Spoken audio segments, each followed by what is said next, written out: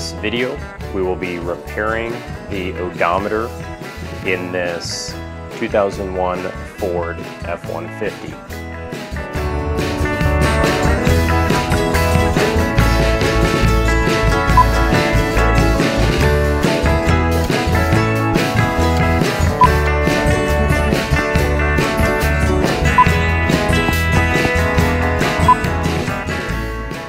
One of the many known issues with this era of Ford F-150 is the odometer turning on and off and being half lit. We will be correcting this. Taking a look through the driver's side door, we want to locate our headlamp switch. Taking a look at the bottom of our headlamp switch, we have a small slot for a trim removal tool and that headlamp switch will pull straight out. After pulling out that headlamp switch, we have two wiring harnesses, each held on by small plastic tabs. We need to depress the small plastic tabs and wiggle the wiring harness free.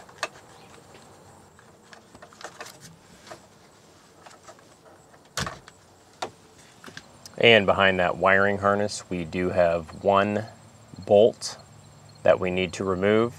I am using a 9 30 seconds nut driver, although it is possible this is a metric size. Taking a look at our dash, directly behind the steering wheel, we will be removing our trim piece.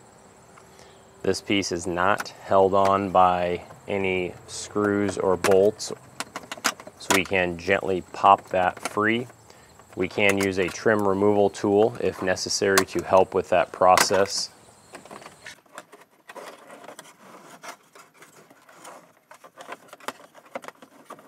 Moving the gear shifter would allow you to maneuver this out a little bit easier. Located directly on top of that instrument cluster, I have an additional trim piece that I need to remove.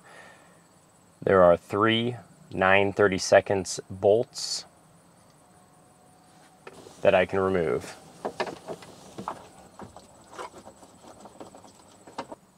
To the right of the steering wheel, we have two additional bolts that need to be removed.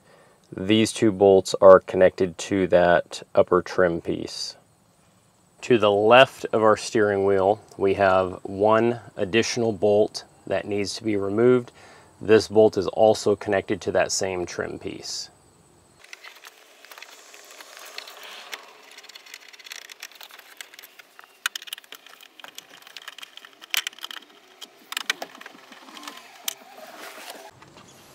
We can then begin to pry off our trim.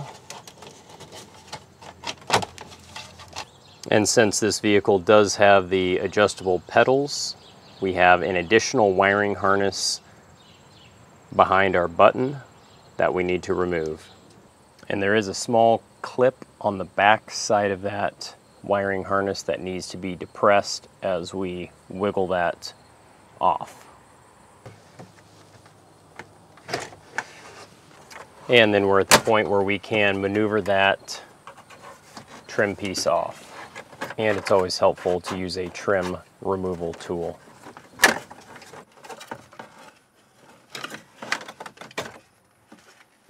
Taking a look on the upper left and bottom left corners of our instrument cluster. We have two additional bolts that need to be removed. And much in the same, we have one on the top right as well as bottom right corners of that instrument cluster. All four of these bolts need to be removed before we proceed. And this is done using that same 9 30 seconds driver. At this point, our instrument panel should be loose and we can slide that out just a little bit. Taking a close look at our gear selector indicator. There are two tabs, one on each side, that need to be pressed inward for that indicator component to be released.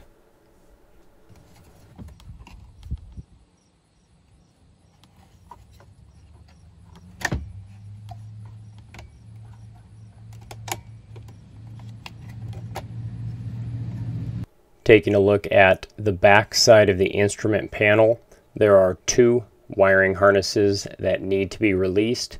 Each one of these wiring harnesses has a small tab that we need to depress as we wiggle out those wiring harnesses.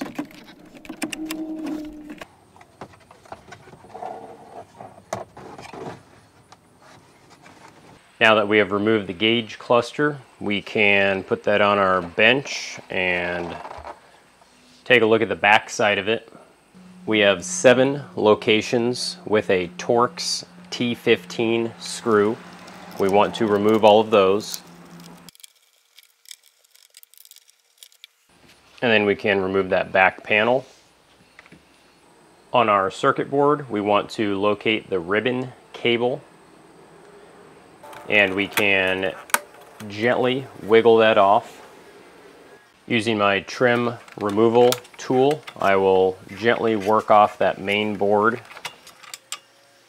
And we can flip that board over and take a look at the back.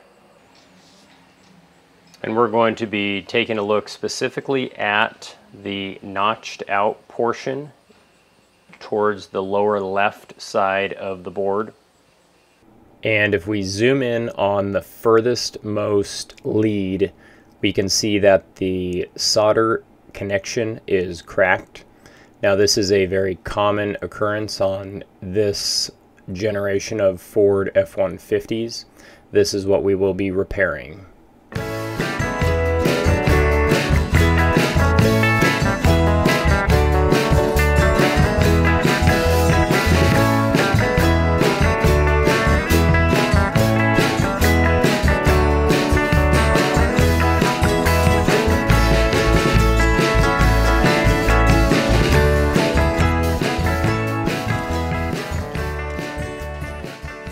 After having soldered that, we can reinstall the board onto our instrument panel and reconnect our ribbon cable. We can then add our back cover plate and our 7 T15 Torx screws. We can then reinstall our panel back into the vehicle, making sure to connect both wiring harnesses and installing that gear selection gauge. Next we have our four screws holding the panel in. After that we have our upper trim piece and I'm going to connect that pedal wiring harness while I'm installing this.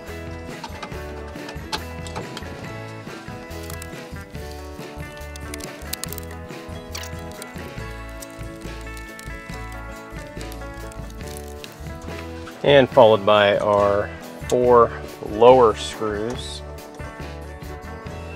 our two wiring harnesses on our headlamp switch,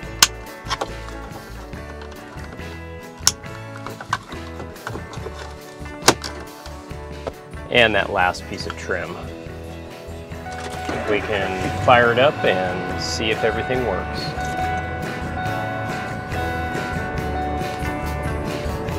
And everything looks really good.